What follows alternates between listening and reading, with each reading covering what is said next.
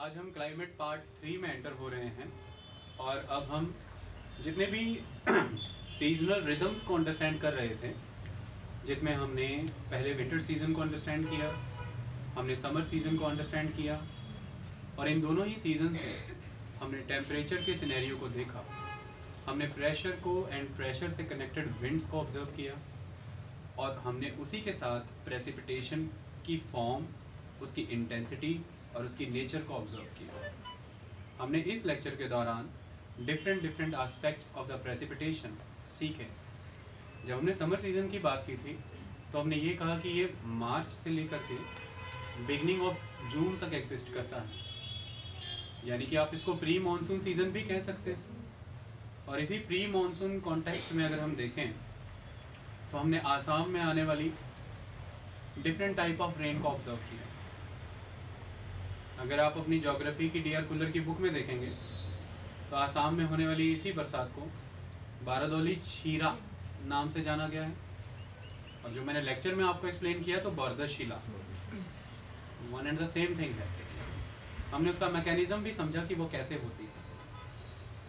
उसके बाद हमने ये देखा कि विंटर सीज़न के दौरान इंडिया का ये जो नॉर्थ वेस्टर्न रीजन है, यहाँ पर मेडिटेरेनियन सी रीजन में बने हुए टेम्परेट साइक्लोन्स, जो ईस्टवर्ड मूव करते हैं under the impact of the upper air atmospheric circulation, यानी कि वेस्टर्लीज, जो अपर एयर में वेस्टर्लीज वेस्ट से ईस्ट मूव कर रही हैं, उनके इम्पैक्ट में आकर के वो वेस्टर्न डिस्टर्बेंसेस, एक पर्टिकुलर मेडिटेरेनियन रीजन में बनने के बाद सारा इराक, ईरान, पाकिस्तान क्रॉस करने के बाद इंडिया में एंटर होते हैं। और इंडिया में एंटर होने के बाद फाइनली वो जम्मू कश्मीर, पंजाब, हरियाणा, राजस्थान, गंगा की वैली तो दिल्ली तो आएगा ही। गंगा की वैली बिहार का रीजन अरुणाचल प्रदेश तक जाते हैं। तो आपसे कोई पूछे कि वेस्टर्न डिस्टर्बेंसेस कहाँ जाते हैं? तो वेस्ट हिमालय से लेके ईस्ट हिमालय पूर्वांचल तक चले जाते हैं। और इन्हीं के इम्पैक्ट में, इन्हीं वेस्टर्न डिस्टर्बेंसेस के इम्पैक्ट के तहत आसाम में बरसातें होती हैं और हमने कहा था कि उसे टी प्लांटेशन कहते हैं। वो टी कल्टीवेशन के लिए बहुत अच्छी होती है। इसी समर सीज़न के दौरान हमने देखा कि दो मैकेनिज्म साइमल्टेनियसली वर्क कर रहे हैं। दोनों एक दूसरे को कॉम्प्लीमेंट कर रहे हैं। एक लोकल हीटिंग की वजह से जो कन्वेक्टिव मैकेनिज्म बना है upward rise in the air और सेकंड जो अपर एयर सर्कुलेशन में वेस्टर्लीज का रोल प्ले कर रही हैं वेस्टर्लीज जो रोल प्ले कर रही हैं उसकी वजह से अपर एयर सर्कुलेशन में जो सक्शन का एक इम्पैक्ट क्रिएट हो रखा है। इसकी वजह से हमने देखा कैसे झारखंड में काल बैसाखी नाम की इस समय में वेदर कंडीशन बनती है रेनफॉल होती है, इतने डार्क क्लाउड्स होते हैं। इसी समय में कुछ और चीज़ें होती हैं जो इसी नॉर्थ वेस्ट से आने वाले विंड्स एंड क्लाइमेटिक पैटर्न से कनेक्टेड हैं। इसके लिए हम एक्सक्लूसिव लेक्चर आज ही रखेंगे, जिसको हम सिर्फ़ और सिर्फ़ ये देखेंगे कि विंटर रेनफॉल है क्या। और उसमें बाकी के सारे कंसेप्ट क्लियर हो जाएँगे। काफ़ी हद तक हो चुके हैं, बाकी मैकेनिज्म के थ्रू समझा दिया जाएगा। और विंटर रेनफॉल पे एक एक्सक्लूसिव लेक्चर रख देंगे। आज हमें एंटर होना है मानसून सीज़न में। उसी सीजनल रिदमिक पैटर्न में आज हम मानसून में एंटर हो जाते हैं। और मानसून में जितने कंसेप्ट आज आज तक आपको climate part one part two में सेपरेटेड एस्पेक्ट में समझाए हैं, उन सबको कलेक्टिवली यूज़ करने का समय है आज। एक बहुत इंपॉर्टेंट चीज़ आज मैं लेक्चर में इंड्यूस करूँगा, ताकि आपको सारा कुछ अलग अलग से ना करना पड़े, जादुई तरीके से चीज़ें ख़त्म हो जाएँ। जब मैं आज अभी समर मानसून पढ़ाऊँगा तो मैं तीन चीज़ें एक साथ पढ़ा दूँगा। सबसे पहला मेरा टॉपिक रहेगा समर मानसून उसी के साथ कनेक्टेड कंसेप्ट बताता चला जाऊँगा टोपोग्राफिकल इम्पैक्ट टोपोग्राफिकल इम्पैक्ट जिसके रिलेटेड ही फिर आपको क्लाइमेट का इम्पैक्ट यानी कि मानसून का भारत पे इम्पैक्ट भी समझ आ जाएगा।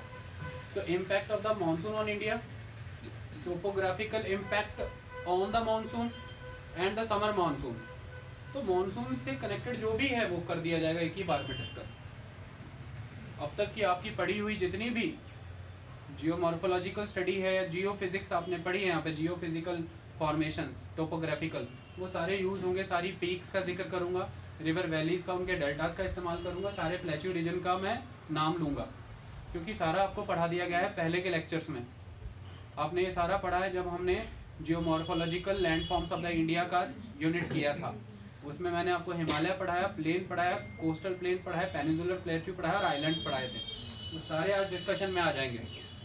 तो चलिए, सारी बातें एक साथ करते चले जाएँगे, इस इम्पैक्ट को अच्छे से समझेंगे। कि कहाँ पे ड्रॉट्स हैं और कहाँ पर फ्लड्स आते हैं। क्या रीज़न है उनका? वो एरियाज़ क्यों इस तरह से इम्पोर्टेंट है? भारत में बे ऑफ़ बंगाल ज़्यादा Bay of Bengal branch of the monsoon ज़्यादा रीजन कवर करती है या Arabian Sea Arabian Sea branch ज़्यादा पावरफुल है या बे ऑफ़ बंगाल ब्रांच ज़्यादा पावरफुल है? ये सारे कंसेप्ट अभी आज आपको समझ आने शुरू हो जाएँगे और सारी चीज़ें वन बाय वन हम कवर करेंगे। जब भी हम मानसून के टॉपिक को अप्रोच करें, हमें ऑलवेज बिगिनिंग इस चीज़ से करनी है कि सन का माइग्रेशन पैटर्न क्या है? और सन इस टाइम पर कहाँ खड़ा है? क्योंकि सन के नॉर्थवर्ड एंड साउथवर्ड माइग्रेशन से ही प्रेशर बेल्ट जो ग्लोब की हैं, उसका नॉर्थवर्ड एंड साउथवर्ड माइग्रेशन होता है। और समर मानसून में बहुत सारी चीज़ों का रोल है। अगर समर मानसून में साउथ वेस्ट विंड का रोल है तो location and the positioning of the intertropical convergence zone भी इंपॉर्टेंट है। जो अगर नॉर्थवर्ड है तो it is northern intertropical convergence zone C southward है तो it is southern intertropical convergence zone सी बस आप इतना याद रखिए that is intertropical convergence zone तो उसकी पोजीशनिंग बहुत इंपॉर्टेंट है। उस जोन में चल रही equatorial westerlies are very important जो मैंने कल के लेक्चर में सारी समझाई थी। उन वेस्टर्लीज की उत्पत्ति भी समझा दूँगा आज। इक्वेटर पर वेस्टर्लीज क्रिएट प्रॉपर कैसे हुई कोरियोलिस फोर्स का क्या रोल है? ट्रॉपिकल डिस्टर्बेंसेस कैसे बनती हैं वे ऑफ़ बंगाल में और उनका क्या इंपॉर्टेंट रोल है? क्यों ज़ीरो से पाँच डिग्री और आठ डिग्री नॉर्थ और ज़ीरो से पाँच डिग्री और आठ डिग्री साउथ साइक्लोन्स नहीं बनते हैं, जिसको हम डोल्ड्रम रीजन भी कह देते हैं, जिसकी वजह से इस पर्टिकुलर रीजन में आपको साइक्लोन्स एक्सपीरियंस नहीं होते। क्यों आठ डिग्री से लेकर के तीस डिग्री नॉर्थ आठ डिग्री से लेकर तीस डिग्री साउथ के बीच में मेजोरिटी ऑफ़ द साइक्लोन्स बनते हैं? जो अगर साउथ, अगर हम यूएसए की बात करें, उसके साउथ ईस्ट कोस्ट में, उसको हरिकेन कह दिया जाएगा, चाइना के साउथ ईस्ट में उसे टाइफून कह दिया जाएगा, और भारत के साउथ ईस्ट रीजन में यहाँ पर इसको साइक्लोन कह दिया जाएगा। अलग अलग नाम से अलग अलग एरियाज़ में जाने जाते हैं, ये सब आपको पता होना चाहिए। लोग दे दीजिए। तो इसी कॉन्टेक्ट में वन बाय वन मैं सारा कंसेप्ट डिस्कस करते चला जाता हूँ। तो सबसे पहले हम बात करते हैं जून की। ये डेट तो आप अपने माइंड में ऑलवेज रख लीजिए। जून फ़र्स्ट को जो मानसून है, वो भारतीय लैंड मास के साथ आकर के पहली बार टकराता है, टच करता है। क्लियर? तो जून जून वन एक इंपॉर्टेंट डेट है। आपको पता होना चाहिए कि कब आगमन होता है मानसून का भारतीय क्षेत्र पे। तो यह जून वन है। तो क्या ये ऑलवेज जून वन को ही आता है? बिल्कुल नहीं। ऐसे एमसीक्यूज स्टेटमेंट की फॉर्म में आते हैं। अगर हम हमारे मानसून की बात करें तो ये मानसून बहुत ही अनसर्टेन है। ये जून वन पे भी आ सकता है। ये डिले होने की बात करें तो ये दो तीन वीक तक भी डिले हो सकता है। और अगर ये एडवांस फॉर्म में आ जाए तो ये मई मिड में या मई ट्वेंटी ट्वेंटी सेकेंड को भी आ सकता है। तो ये फॉरवर्ड यानी कि एडवांस एंड उसके आगे बढ़ने की टेंडेंसी रखता है। ज़रूरी नहीं है उसी डेट पे आएगा, लेकिन मेजोरिली ये इसी डेट पे रिसीव होता है। इतनी बात क्लियर है आपको? तो यहाँ से एक चीज़ तो क्लियर होती है कि ये एक प्रोग्रेसिव मोड में आगे बढ़ता है, यानी कि एक पाथ फॉलो करता है प्रॉपर और वन बाय वन आगे जाता है। इसमें सबसे इम्पोर्टेंट टोपोग्राफिकल रोल इस टाइम पे ये पेनिजुलर इंडिया का ये जो कन्याकुमारी रीजन है, ये लैंडमार्क हमारा और यहाँ पर आने वाली जितनी भी इम्पोर्टेंट पीक्स हैं, जैसे कि अनाईमुडी है, उसके बाद कार्डमम हिल्स है वेस्टर्न घाट्स की। ये बाइफर्केट होता है भारतीय लैंडमार्क्स को टकराने के बाद। और इसकी दो ब्रांचेस बनती हैं, एक अरेबियन सी ब्रांच बनती है और एक बे ऑफ़ बंगाल ब्रांच बनती है। Arabian Sea and Bay of Bengal branches की फर्दर डिवीज़न है। अरेबियन सी ब्रांच तीन हिस्सों में बढ़ जाती है। Stream one two and three मैं समझाऊँगा। बे ऑफ़ बंगाल ब्रांच दो स्ट्रीम्स में बढ़ती है stream one and stream two I will explain और फिर बड़े पैमाने पर एक वेटिंग लाइन क्रिएट होती है, जिस वेटिंग लाइन पे इन दोनों ब्रांचेस को आके मीट करना है। और ये वेटिंग लाइन पे भी क्वेश्चन आते हैं। और ये वेटिंग लाइन को ही आप भारत का वाटर डिवाइड रीजन भी कहते हैं। यही भारत का मेन वाटर डिवाइड है। वेटिंग लाइन भी आजकल शिफ्ट हो रही है। किसी ज़माने में बे ऑफ़ बंगाल की एक ब्रांच और अरावली पर्वतों के साथ जाने वाली एक ब्रांच हिमाचल के रीजन में मीट किया करती थी। आज की डेट में लास्ट फाइव सेवन ईयर्स में उत्तराखंड में मीट करने का काम कर रही है। उसके भी reason I will explain you और ये भी बताऊँगा कि इतने बड़े पैमाने पर ये जो उत्तर प्रदेश का इम्पोर्टेंट एरिया जहाँ पे अलाहाबाद जहाँ पे प्रयाग फॉर्म होता है, इस पर्टिकुलर रीजन में इतने हाई लेवल पर थंडर स्टॉम्स और इतने ज़बरदस्त लेवल पे बिजलियाँ क्यों गिरती हैं, इसमें दोनों ब्रांचेस का आपस में मिलने का क्या रोल है? क्लाउड बस्ट क्या होता है आज हम समझेंगे और मानसून बस्ट के कंसेप्ट को हम समझेंगे। चलिए पहले लार्जर एस्पेक्ट में कंसेप्ट को समझने का प्रयास करते हैं और चीज़ों को अंडरस्टैंड करते हैं। देखिए, अगर सबसे बेस्ट तरीका रहता है, आप इसे ग्लोब के कॉन्टेक्स्ट में समझने का प्रयास करें तो चीज़ें आपको ऑलवेज क्लियर रहती हैं। ग्लोब के कॉन्टेक्स्ट में हम इसे कैसे समझ सकते हैं? इंडिया की पोजीशन को आप नोटिस कर लीजिए। सबसे पहले तो नर्दर्न हेमिस्फेयर में है और एशियन लैंड मास का पार्ट है। और सेकेंड आस्पेक्ट आपके सामने, ये यहाँ पर ऑस्ट्रेलिया आ रहा है and that is also very important ये साउदर्न इंडियन ओशन में है और साउदर्न हेमिस्फेयर में है। क्लियर एक इंपॉर्टेंट चीज़ यहाँ पर अब ये आ जाती है कि जब हमने मानसून के बारे में बात की तो हमने एक थ्योरी ये डिवाइस की है कि जितनी भी साउथ ईस्ट से ट्रेड विंड्स जो आती हैं, जब ट्वेंटी थर्ड मार्च की कहानी है, जब सन इक्वेटर पे वर्टिकल है, जिसे आपने स्प्रिंग इक्विनॉक्स कहा है उस दौरान south east trade winds and north east trade winds equator पे ही मीट करने का काम कर रही हैं। और दोनों जब इक्वेटर पे मीट करने का काम करती हैं तो दोनों वहाँ पर मिलने के बाद एक एंटी क्लॉकवाइज डायरेक्शन में साइक्लोनिक मूवमेंट बनाते हुए ऊपर की तरफ़ उठती हैं। इनिशियली इनके इनिशियली इनको मिलाने का काम तो इनकी ऑपोजिट डायरेक्शन से आने वाली कंसेप्ट ही करता है। लेकिन उसके बाद प्रॉपर ऊपर उठने के लिए इन्हें थर्स्ट और ऊपर उठने की एनर्जी जो मिलती है, वो इक्वेटर के रीजन का अल्टीमेट हॉट होने वाला कंसेप्ट देता है। तो थर्मल हीटिंग कंसेप्ट इन्हें ऊपर उठने की ताकत देता है। और जब कोई भी वाटर मॉलिक्यूल इवेपोरेट होता है, वो हीट को गेन करने के बाद ही इवेपोरेट होता है। और ये जो गेन की हुई हीट है, इसके दम पर जब ये ऊपर उठती हैं तो ऊपर उठते हुए, जब ये नीचे थी तो ये फैल गई थी बॉम्ब होने के बाद एक्सपैंड कर गई थी। जैसे जैसे ऊपर उठेंगी सबसे पहले तो कब तक ऊपर उठेंगी? जब तक इनका सराउंडिंग रीजन कूल है।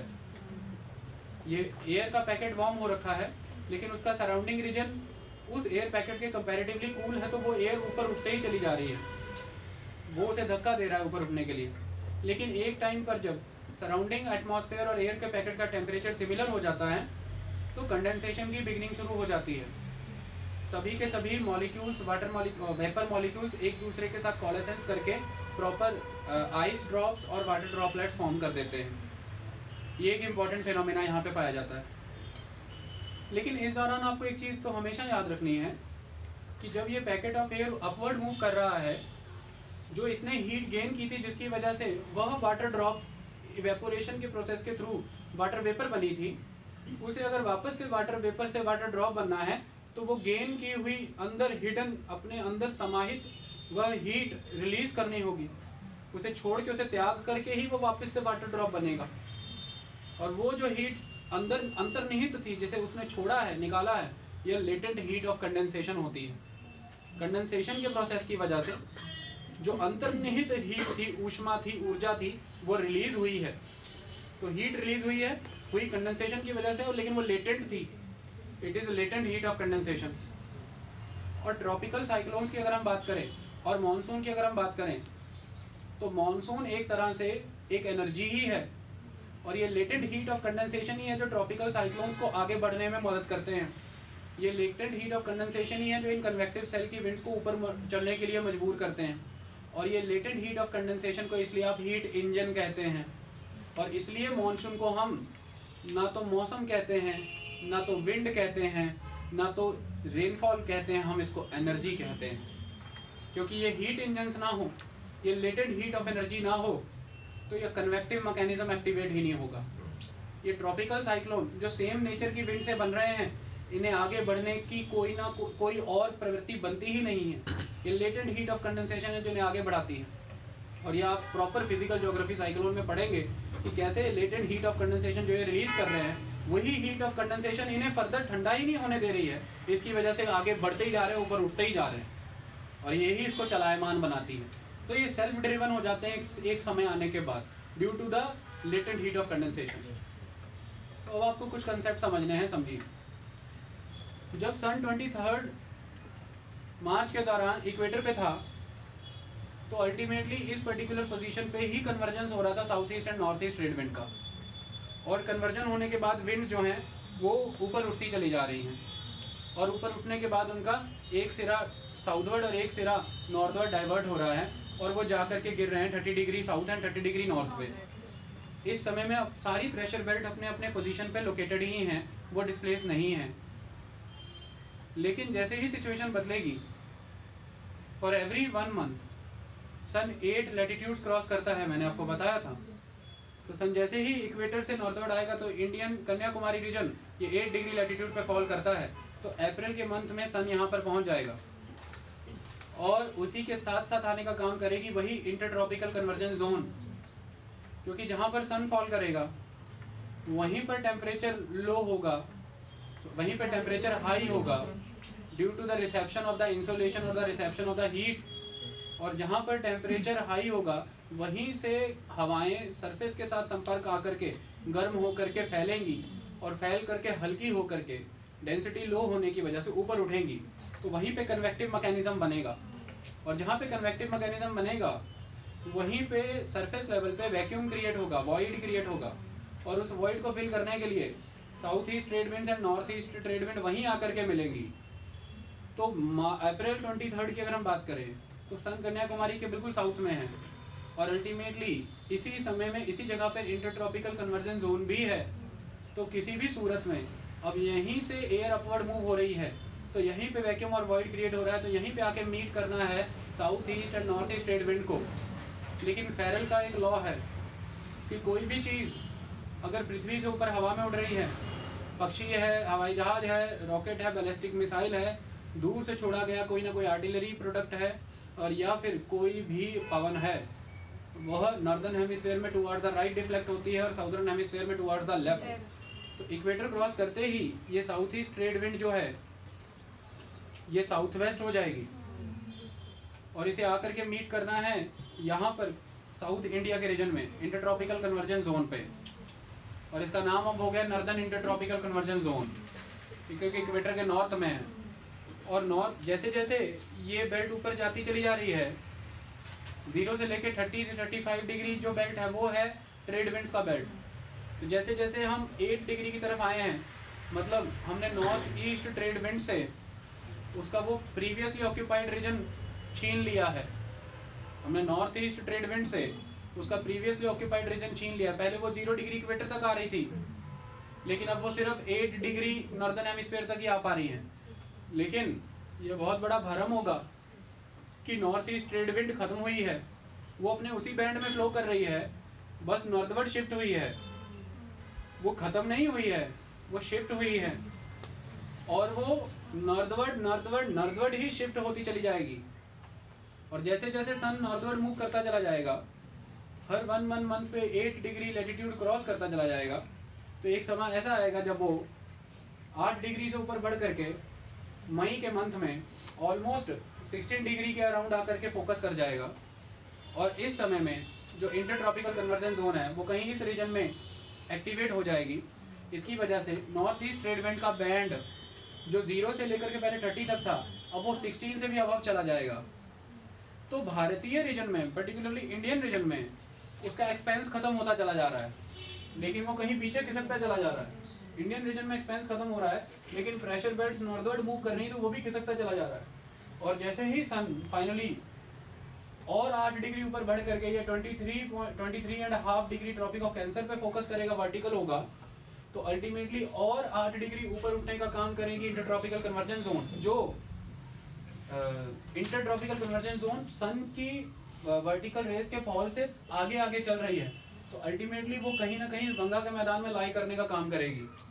और अगर वो यहाँ गंगा के मैदान में है तो नॉर्थ ईस्ट ट्रेड विंड्स का बैंड कहीं और पीछे खिसक जाएगा। और इसी तरह से खिसकते खिसकते वो हिमालय के पीछे चला जाएगा। ये एक इंपॉर्टेंट आस्पेक्ट है। तो ये जो एक इंपॉर्टेंट थ्योरी है, इस थ्योरी के थ्रू हमें दो बातें तो सिद्ध हो गई हैं। हमने दो चीज़ें कंक्लूड कर ली हैं यहाँ से। हर चीज़ एटमॉस्फेयर में मानसून के लिए रोल प्ले कर रही कोई एक सिंगल चीज़ नहीं। जब हम बात करते हैं हेले से लेकर के 1686 से तब से लेकर के एकदम रिसेंट हम आ जाते हैं 1951 फ्लोन की डायनेमिक थ्योरी 1952 कोटेश्वरम की upper air jet easterly theory 1972-73 में मोनेक्स एक्सपेरिमेंट इंडिया रशिया का। कुछ भी स्टडी करिए। किसी ने भी आकर के ऐसा नहीं हो सकता कि पिछली थ्योरी वायलेट हो गई है। एडिशन हो रहा है। मानसून एक कम्प्लेक्स फिनोमेना है और उसमें सब कुछ जुड़ता ही चला जा रहा है। हम डे बाय डे कुछ नई चीज़ों को डिगोट करवा रहे हैं। पिछला निगेट नहीं हो रहा है। पहले की differential heating of land and ocean वाली थ्योरी हंड्रेड परसेंट इंटैक्ट है मानसून के साथ। फ्लोहन की थ्योरी प्रॉपर इंपॉर्टेंट है कोटेश्वर की बात भी इंपॉर्टेंट है तिब्बतन हाईलैंड का जो मोनेक्स ने एक्सपेरिमेंट दिया, वो भी इंपॉर्टेंट है, सब कुछ यूजेबल है। सारे आयाम हम इसलिए पढ़ रहे हैं। तो अब जब हम देख रहे हैं कि मान लीजिए इंटरट्रॉपिकल कन्वर्जन जोन नॉर्थवर्ड आ चुका है इंडिया के रीजन में, और वो कहीं ना कहीं गंगा की वैली में कंसनट्रेट कर चुका है तो इससे हमारे सामने दो परिस्थितियाँ ये क्रिएट हो रही हैं। परिस्थितियाँ कुछ ऐसी क्रिएट हो रही हैं इंटरट्रॉपिकल कन्वर्जन जोन कि एक तो ये पर्टिकुलरली कन्वर्जन जोन है जहाँ पर north east and south west winds आकर के कन्वर्ज कर रही हैं। तो सबसे इम्पोर्टेंट एस्पेक्ट ये है कि साउथ वेस्ट विंड्स इस कन्वर्जन जोन की वजह से पूरे भारत से बह रही हैं। फिफ्टीन ऑफ़ जुलाई वो डेट होती है जब पूरे इंडिया में मानसून इस्टेब्लिश हो जाता है। आपसे कोई पूछे कौन सी डेट है? Fifteen of July in the mid of the July लेकिन जब हम बात जून की करते हैं, जब ट्रॉपिक ऑफ़ कैंसर पे सन वर्टिकल है, तब पूरा गंगा की घाटी, ये पंजाब, हरियाणा के रीजन में कंसनट्रेट हो जाता है मानसून जम्मू कश्मीर और अपर रीजन में चला जाता है, पंद्रह जुलाई तक पूरा इंडिया कवर हो जाता है। तो इस पर्टिकुलर टाइम तक हमने एक्सप्लेन क्या करना चाहा? कि ये साउथ वेस्ट मानसून की ये जो विंड की पर्टिकुलर मूवमेंट है साउथ वेस्ट से नॉर्थ ईस्ट की तरफ़, ये इस्टेब्लिश हो गई क्योंकि ये intertropical convergence zone northward move हुई। ये जो इंटरट्रॉपिकल कन्वर्जन जोन का बैंड है, ये जब इक्वेटर पे था तो इस इक्वेटर में नॉर्थ ईस्ट और साउथ ईस्ट से आकर के जब विंड्स टकरा रही थी तो इनमें एक बैंड ऑफ़ विंड क्रिएट हो रहा था जो वेस्ट से ईस्ट जा रही थी सरफेस पे सरफेस पे। उनको हमने कहा था इक्वेटोरियल वेस्टर्लीज उसका रीज़न क्या था? इक्वेटर पे कोरियोलिस फोर्स बहुत कम होती है। यही कारण है कि ज़ीरो डिग्री से पाँच और eight degree north zero degree से पाँच और एट डिग्री साउथ साइक्लोन्स नहीं बन पाते। और साइक्लोन्स नहीं आते बिकॉज़ कोरियोलिस फोर्स जब तक विंड की डायरेक्शन को प्रॉपर डिफ्लेक्ट नहीं करेगी, तब तक आप सर्कुलेटरी मोशन नहीं प्रोवाइड कर सकते उतना ज़बरदस्त। इसकी वजह से साइक्लोन उतनी एग्जिस्टेंस में नहीं आते। लेकिन जैसे ही विंड नॉर्दर्न हेमिसफेयर में प्रॉपर एंटर होती है और जैसे ही विंड साउदर्न हेमिस्फेयर में एंटर हो तो कोरोलिस इफ़ेक्ट उस पर ज़्यादा लगेगा क्योंकि कोरोलिस इफ़ेक्ट एक सीडो इफ़ेक्ट है। वो विंड की रफ्तार पर निर्भर करता है। वो विंड की इंटेंसिटी में निर्भर करता है। वो अपने आप में कोई फोर्स नहीं है। और विंड इक्वेटर को क्रॉस करने के बाद इंटेंस होती है। चाहे वो नॉर्थ में हो या साउथ में हो। तो इस इक्वेटोरियल रीजन में जब साउथ ईस्ट और नॉर्थ ईस्ट ट्रेड मिल रही थी तो कोरोलिस इफ़ेक्ट बिल्कुल ज़ीरो भी नहीं है। क्योंकि intertropical convergence zone proper equator पे नहीं बनता। उससे जस्ट ऊपर बनता है। ज़ीरो से पाँच डिग्री लेटीट्यूड के अराउंड बनता है, पूरा इक्वेटर पे नहीं बनता। तो ऐसे में जो साउथ ईस्ट ट्रेड विंड आई है, ये आने के बाद वार्म होकर के ऊपर उड़ गई है। लेकिन कुछ रेजिडुअल पार्ट इसका सरफेस पे है। जो नॉर्थ ईस्ट से ट्रेड आई है, इसका कुछ रेजिडुअल पार्ट है। तो अगर इस थ्योरी को, के अकॉर्डिंग हम देखने का प्रयास करें तो हम ये कह रहे हैं कि अर्थ जो है वो वेस्ट टू ईस्ट रोटेट करने का काम कर रही है। और अगर हम साउथ ईस्ट ट्रेड विंड को देखें इक्वेटर पर आई है तो इक्वेटर जस्ट क्रॉस करते ही ये किस तरफ़ घूमना चाहेगी टुवार्ड्स द राइट तो ये यहाँ से आई है टुवार्ड्स द राइट हो जाएगी। तो इसकी वेस्टर्ली डायरेक्शन हो गई। और जो नॉर्थ ईस्ट से आ रही है, ये टुवार्ड्स द लेफ़्ट तो ये आई है टुवार्ड्स द लेफ़्ट तो इनके दोनों के कोलेबोरेशन से एक पैकेट ऑफ़ विंड बन रहा है on the surface it is equatorial westerlies Coriolis effect है, लेकिन है, कम है, लेकिन है। और फेरल का लॉ अप्लाई हो रहा है। ये इक्वेटोरियल वेस्टर्ली को अपने साथ ही प्रॉपर लेके जाती है हमेशा। Inter tropical convergence zone.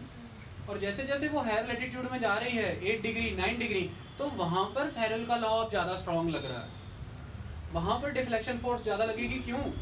क्योंकि जैसे जैसे आप इंटरट्रॉपिकल कन्वर्जन जोन को अपर लेकर के जा रहे हैं तो ओशियन एंड लैंड के बीच में टेम्परेचर का कंट्रास्ट बढ़ता चला जा रहा है। और जैसे जैसे टेम्परेचर का कंट्रास्ट बढ़ता चला जाएगा वैसे वैसे इंटरट्रॉपिकल कन्वर्जन जोन में कन्वेक्टिव मैकेनिज्म इंटेंस होता चला जाएगा। और जैसे जैसे कन्वेक्टिव मैकेनिज्म इंटेंस होता चला जाएगा, वैसे ही उतनी तेज़ी से वहाँ पे वैक्यूम बनेगा। और जितनी तेज़ी से वहाँ पर वैक्यूम बनेगा, उतनी तेज़ी से ही उसे फिल करने के लिए सराउंडिंग रीजन से विंड को आना है, जैसे कि साउथ वेस्ट और नॉर्थ ईस्ट रेड विंड और जितनी तेज़ी से वो एक दूसरे से आगे भिड़ जाएँगी, उतनी तेज़ी से ही वो घूमेंगी। और जितनी तेज़ी से घूमने का काम करेंगी, उतनी ही तेज़ी से साइक्लोनिक रेनफॉल्स बनने का काम करेगा। तो कुल मिलाकर के अगर हम इस थ्योरी के अकॉर्डिंग देखें तो इंटरट्रॉपिकल कन्वर्जेंस जोन का नॉर्थवर्ड और साउथवर्ड जाना it is a very big game propounded by the Flohn it is dynamic theory dynamic theory यानी कि जिसमें पूरा का पूरा एक जोन अपवर्ड नॉर्थवर्ड जा रहा है due to the migration of the sun तो टेम्परेचर का तो रोल है ही है ना. सन को तो हेले के कंसेप्ट को तो भुला ही नहीं सकते. लैंड और ओशन के बीच में टेम्परेचर का एक डिफरेंस आया, जिसकी वजह से high pressure and low pressure zone बना प्रेशर ग्रेडियंट बना. इसी की वजह से विंड का मूवमेंट प्रॉपर ओशियन से टुवर्ड्स द लैंड हो रहा है। ये तो फैक्टर है ही है। इसी टेम्परेचर की वजह से ही तो इंटरटॉपिकल कन्वर्जन जोन से भी विंड सरफेस से टकराने के बाद कन्वेक्टिव मैकेनिज्म बना करके ऊपर उड़ रही है, तभी वैक्यूम हो रहा है। तो आई का बनना ही पहली बात तो किसकी वजह से है? Differential heating of land and temperature और दूसरी बात सन की सीधी वर्टिकल रेस का रिसीव होना। तो temperature thermal theory is very important theory वो तो कभी निगेट नहीं होगी। उसमें हमने एक चीज़ और जोड़ दी particular band of intertropical convergence zone इसमें क्या आती है? इक्विटोरियल वेस्टर्लीज और फ्लोन कहता है कि बरसात इन इक्विटोरियल वेस्टर्लीज से होती है, क्योंकि जैसे जैसे ये इंटरट्रॉपिकल कन्वर्जन जोन जहाँ जहाँ पे स्टेब्लिश होता है, ये इक्विटोरियल वेस्टर्लीज वहाँ पे फ्लो करती हैं ओशियन से लैंड टू वर्ड्स और इसकी वजह से फिर वो रेन कराती रहती है। और तीसरा कंसेप्ट क्लियर हो गया कि ये इक्वेटोरियल वेस्टर्लीज से लदा हुआ इंटरट्रॉपिकल कन्वर्जन जोन अब इंडिया में यहाँ पर है। तो ये मजबूर कर रहा है इन विंड्स को ओशियन वाली को, यहाँ तक गंगा के मैदान तक आने के लिए साउथ वेस्ट और ये ओशियन से आ रही है तो मॉइस्चर लेटन है तो ये भारत में वर्षा कराएँगी। तो सभी कारण यहाँ पे जिम्मेदार बन रहे हैं। ये इतनी कहानी हमने समझी। पहले इसको समझ लें, फिर मैं date by date by date place by place progress बताऊँगा मानसून का। हम पहले इसको समझें।